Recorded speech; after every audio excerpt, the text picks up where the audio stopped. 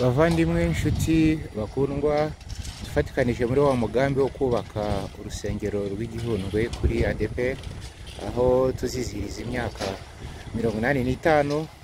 Itorero ADP rizaba rimaze rivutse umwaka utaha bibiri na makumyabiri na gatanu.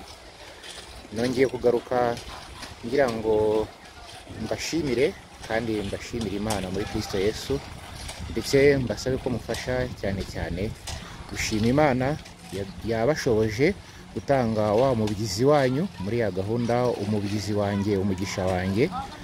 Byatumye bidushoboza gusubukura iyi nyubako yari imaze imyaka eh, cumi n'ine yubakwa ariko hakaba hari igice twagombaga gushyiramo cyo kumenera dare Eh, ndetse twari twarabanje kugira kwizera guke tuvuga tutese twabyihoreye? Ariko hamwe n'uko imana yagukoze ku mutima mwene data nshuti muvandimwe byatumye inkunga yawe igira umumaro none ubu uyu munsi turashima imana ko turi gusoza igikorwa cyo kumenera iyo bariko ahantu hazajya hicara abantu ba- begereye igihumbi na magana atanu. Ejo rero kuwa kabiri nk'uko twe twabihanye muri gahunda eh, habayeho impinduka ntoya ariko em, kuwa kabiri ejo ni bwo twazindukaga kare saa cyenda z'ijoro duhura na bano bantu abari baje gusaba akazi ndetse n'abakristo ba paruwasi ya gihundwe dushimira cyane n'abaturage n'inshuti bari baje gutanga umubyizi wabo w'amaboko. Nuko turabanza dusenga imana ndashima imana ko mu ijambo twabwirije bano bantu hari harimo batarakira yesu bashoboye kwakira yesu bemera gusengerwa ndetse bemera ko bagiye gukurikira inzira ah, y'imana. Nuko twishimiye imana cyane. Hama rero umunsi w'ejo twarakomeje turamena ariko ntitwabisoza. Hama rero uyu munsi ku wa gatatu ni bwo ndi gushimira imana ko ngiye kubereka aho tugejeje mu masaha make turaba dushoje icyo gikorwa dushimira imana cyane. Nuko rero eh, rwose dufite umunezero mwinshi mwinshi mwinshi kubera ko aha hantu erega nk'uko nabibabwiye mu myaka iri imbere hazaba ari ahantu hashobora kubera inama zikomeye zo muri ibi bihugu by'ibiyaga bigari amakonferanse ya gipentekoste ibiterane bikomeye eh, hazaba ari ahantu hari infrastructure nziza urusengero rwiza rufite ubwiza buruta ubwa mbere rufite ibikorwa by'ikoranabuhanga eh, byiza nuko ndetse n'ubwiza bwarwo imbere yuko abantu bazaba bicaye dufite ibikoresho bifata amajwi ku buryo ntawasakuriza uwo hanze. Mbese ibyangombwa byose bisabwa kugira ngo urusengero ahasengerwa habe hujuje ibyangombwa eh, n'amategeko y'igihugu dukoreramo ruzaba rubyujuje kandi rubasha kwakira abantu benshi. Aba rero nkaba ngo rwose uko dusenze tugusabira umugisha wowe wiyemeje kwitanga no kudushyigikira muri uyu mugambi. None tukaba tugejeje ahangaha murabona ko turi kwinjira hejuru kuri bariko aho abantu bazaba bicaye hejuru. Urabona ko bari gukora uturimo twa nyuma babishoje babirangije. Dushimiye imana cyane mufashe gushima imana. Kandi byose byaturutse muri ya nkunga wohereje kuri momo makumyabiri na kabiri mirongo irindwi na karindwi zeru zeru. Hari nawe wayohereje kuri konti iri muri beka rimwe amazeru ane mirongo itatu na karindwi mirongo itanu na kane magana inani mirongo ine na rimwe. Iyo nkunga yose yatugezeho kandi nshimira komite ishinzwe inyubako ndetse n'abashinzwe finance muri paruwase no mu rurembo.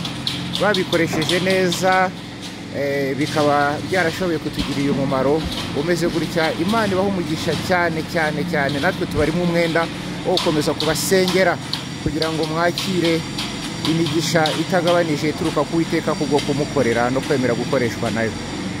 Nongere nshimire cyane abapasiteri bambanjirije hano igihundwe batangije iki gikorwa kandi bakomeje kunshyigikira. Nubwo hari abo imana yahamagaye kujya kuruhuka mu ijuru ariko imiryango yabo turacyafatanya kandi bazakomeza kuronka no kwakira imigisha ituruka mu gukorera imana kwaranze ababyeyi babo baba bayoboye paruwasi ya gihundwe baba bayoboye icyahoze ari itorero ry'akarere ka rusizi baba bayoboye icyahoze ari ururembo rwa cyangugu cyangwa ururembo rw'iburengerazuba.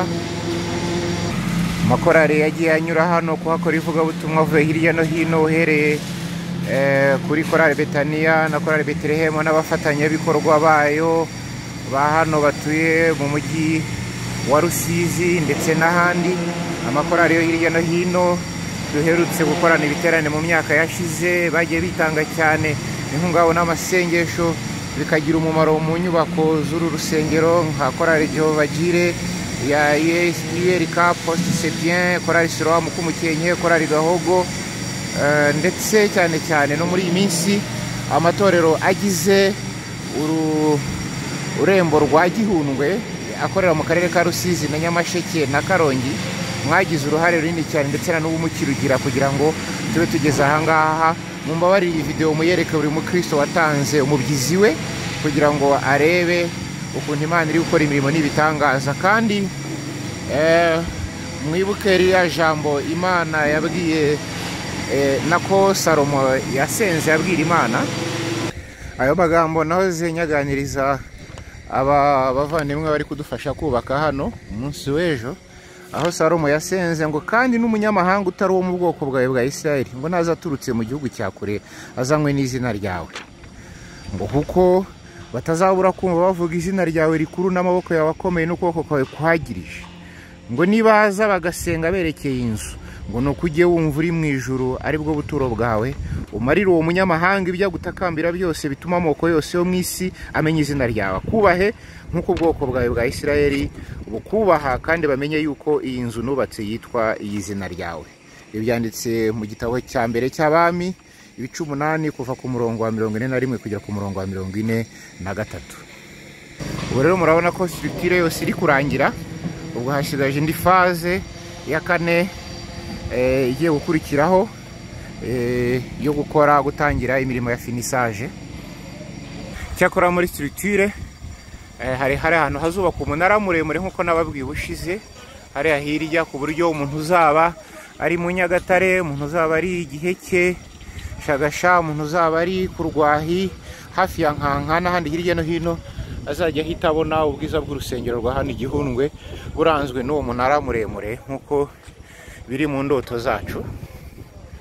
Byanyibukije iby'umuhanuzi zekariya yahanuye igihe inzu y'isirayeli nawe yari yararetswe nuko mu gihe imana yari guhagurutsa abajya kongera kuyubaka muri zakariya igice cya mirongo cumi na gatandatu ngo ni cyo gituma uwiteka avuga ati ngarukiye Yerusalemu ntafitiye imbabazi.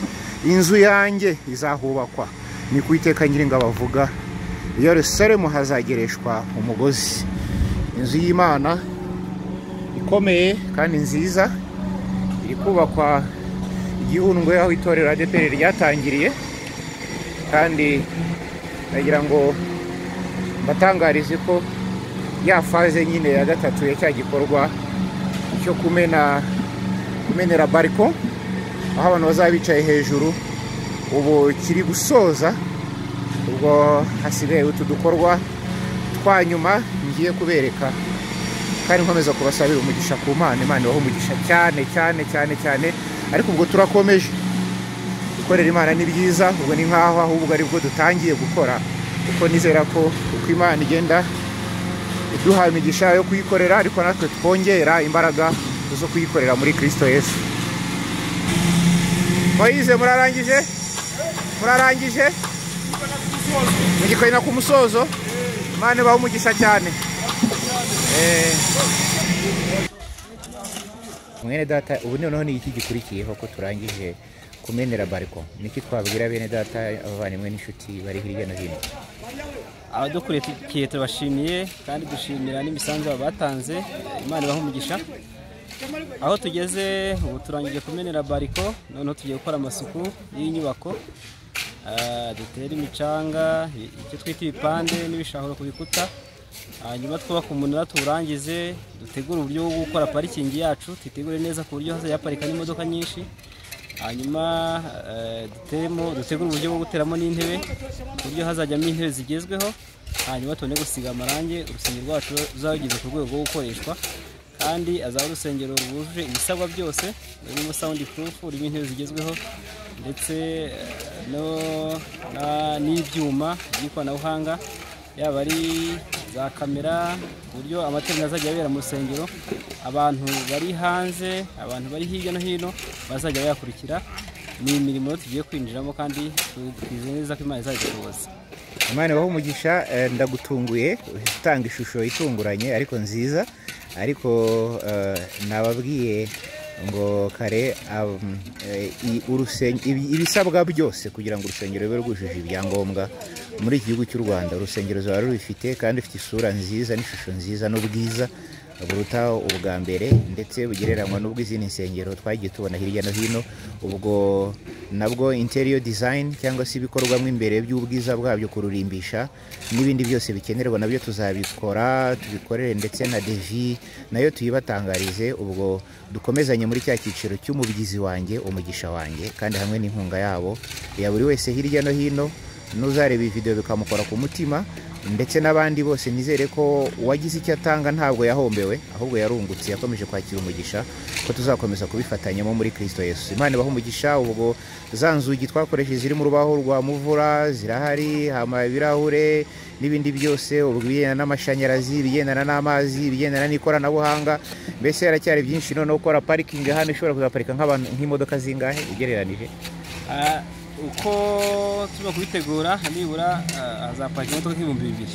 Ibihumbi bibiri. parikingi nini dushobora kugenda dutunganya uko ubushobozi uzajya bugenda buboneka ariko nibura umuntu wese uzaza guterera mu rusengero afite imodoka azabona aho ayiparika Ni ukwito- ni ukwitonda kubera ko niba urusengero rushobora kuzahositinga kuzajya rwakira abantu bari mu hafi ibihumbi bine bine magana atanu. Muri makumyabiri mirongo itanu mirongo icyenda ku ijana byabo bazajya bazana imodoka ahangaha ubwo ni ukuvuga ngo abantu ibihumbi bine na magana atanu muri makumyabiri mirongo itanu. Ubwo tuzaba dukenera ahantu haparikwa imodoka ibihumbi bitatu ibihumbi bingahe. Ariko ibyo na byo eh, tuzabikemura. Uko na hano ku muhanda n'ahandi hirya no hino hazaba hahari. Eh, kandi nabwo ntabwo twarangiza ubutaka bwose tubukoresha muri parikingi gusa ariko hano hazaba heza. Kandi imana iri mu kazi irakomeza kuharimbisha. Imana ibaho umugisha muri kirisito yesu. Nkaba mbashimira rero. Sinabona amagambo yo kubashimira ariko ubwo ibikorwa birakomeye. Tuzafatikanya mu cyiciro cya kane umubyizi wanjye umugisha wanjye.